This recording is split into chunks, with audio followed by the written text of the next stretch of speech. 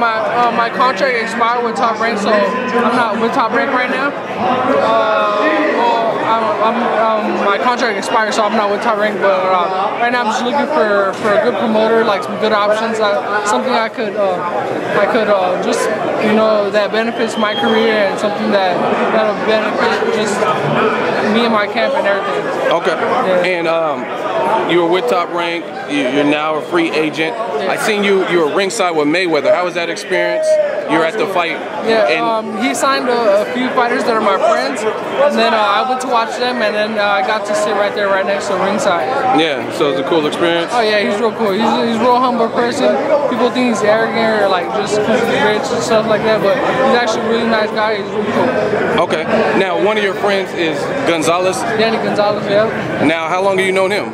I known him um, since he started boxing, since he was like since he was like 11 years old. So I was Okay. like 14, 15 years old. So you guys came up in the Oh, yeah. kind of the same years and stuff. Yeah. Now, um, you guys are some bangers. How do you describe your style if a fan hasn't seen you yet? Yeah, um, I'm a, a puncher boxer.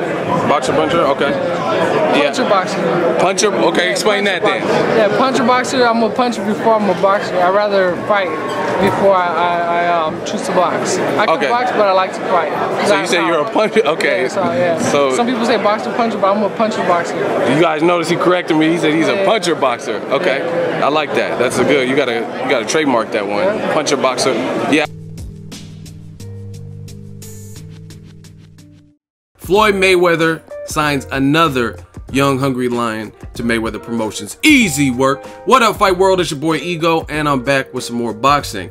Now, make sure you guys check out my dude Saul Neno Rodriguez, and he, big things coming. He just signed to Mayweather Promotions. They're out in Miami. They're doing the WBC convention, and everybody's out there from Amir Khan to Gennady Golovkin. Floyd's there. Everybody's down there. So follow my dude Team underscore N E N O, and I knew something was coming because I talked to him in over the summertime. I was out in Las Vegas covering the fight, ran into him, and he, he was he was formerly with Top Rank, and his contract was expiring, becoming a free agent. And he said something big was coming down the pipelines and, and whatnot. Now he's officially signed. Mayweather announced it on his social media, and this is good. I, I really like to see this. I actually caught up with him again in Vegas when I was covering Kovalev versus Ward. The interview is on the on the channel, and you can also see the snippet that I posted at the beginning of this video. And he refers to himself as a puncher boxer, meaning he likes to punch first and then box. He said he can box, but he likes to get you out of there. And if you look at go to his page, look at his highlight reel, he's has people's neck snapping back like the brat, you know what I mean, Pez dispenser. And he, he's definitely heavy-handed. He fights out of 130 pounds. And I think this is good for Floyd Mayweather. Mayweather's in his retirement, he's been busy. He was at the Rio Olympics. He signed a bunch of people from Daniel Gonzalez to Saul Neno Rodriguez. There's a Cuban fighter. And he's, he's signing a bunch of people in the lighter divisions and stuff like that. So the Mayweather Promotions brand is growing. He, he really wasn't playing when he says that Mayweather Promotions is the past, the present, the future. And he's really trying to be in boxing for some time. So I think this is good. You look at Mayweather Promotions, very multicultural. And the thing I like is you look at Floyd, it doesn't really look like he's discriminating. I'm not gonna name any other promoters, but some promoters, it seems like they cater to certain styles.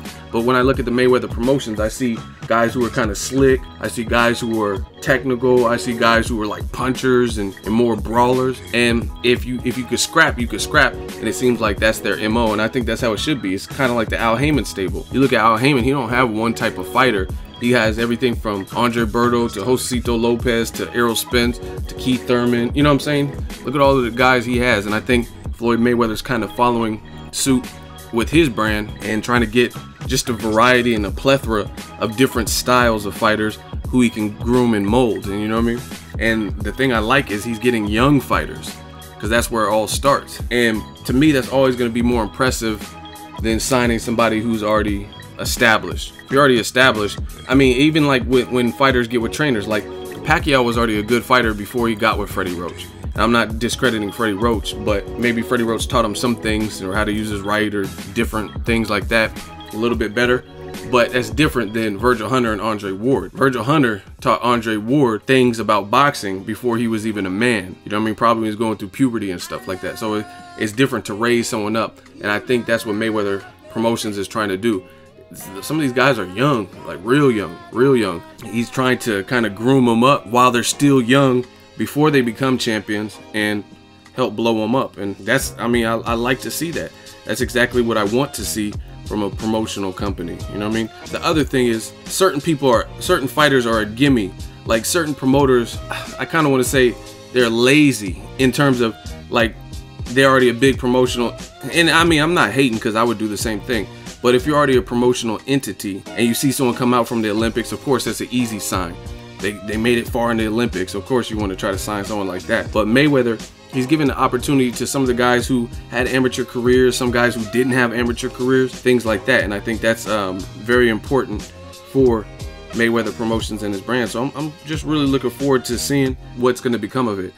Mayweather Promotions also has another fighter, Jose Vargas. He's another person I'm looking forward to seeing him develop. So check out my dude, Neno, and drop it in the comment section. Make sure you share the video, like the video as always. Hate, comment, and subscribe. Till next video is Ego signing off.